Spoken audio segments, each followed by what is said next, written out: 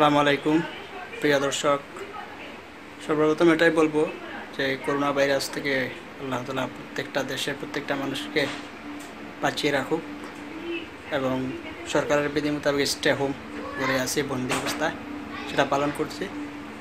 আর এই অবসর সময় কীভাবে কাটাবো তাই এক কাজ করছি। এই যে দেখতে পাচ্ছেন ওয়ালে খুব সুন্দর একটা ড্রয়িং এটা করলাম আমি, কারণ অবসর সময় কাটাবো কীভাবে তাই করলাম। তো আপনারা যারা ঘরে বন্দি আছেন চাইলে এটা করতে পারেন খুব সুন্দর ইজিলি কীভাবে কীভাবে করছি, সেটা আপনারা দেখে করতে পারেন। সব নিয়ম আমি দিয়ে দিছি। আর সবাই অবশ্যই আমার চ্যানেলটি একটু সাপোর্ট দেবেন। আপনাদের সাপোর্ট আমার দরকার। আপনাদের সাপোর্টের কারণেই এত, এতটুকু আসছি আর সামনেও যাব। চ্যানেলটি সাবস্ক্রাইব করবেন। আর ভিডিওটি কেমন হলো কমেন্ট করে জানাবেন।